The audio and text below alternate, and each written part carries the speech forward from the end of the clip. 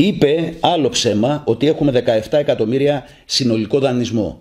Κάποιος πρέπει να τους πει ή να ρωτάνε να μαθαίνουν ή να κάτσουν και να διαβάσουν και να μάθουν.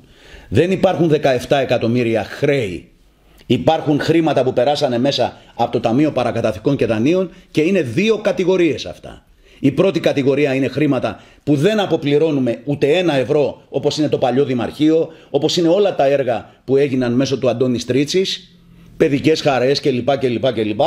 Και τα άλλα είναι τα ανταποδοτικά. Δηλαδή ναι, μεν πρέπει να πληρώνουμε στο Ταμείο Παρακαταθήκων και Δανείων για το φωτισμό, αλλά σας διάβασα προηγουμένως τα ωφέλη τα οποία έχουμε από αυτή την έκπτωση την οποία παίρνουμε. Αν δεν την παίρνουμε, να ψάξουν να βρουν τα πίλαρ και το τι χρεώνει η ΔΕΗ και πόσα χρήματα είναι εκείνα τα οποία πρέπει να εισπράξουμε από τη ΔΕΗ. Έτσι κάναμε εμείς ή από τις άλλες εταιρείες, τους άλλους παρόχους που έχει ο κάθε ένας ιδιοκτήτης και δεν πληρώνουν αυτοί οι ιδιοκτήτες τα δημοτικά τέλη στο Δήμο.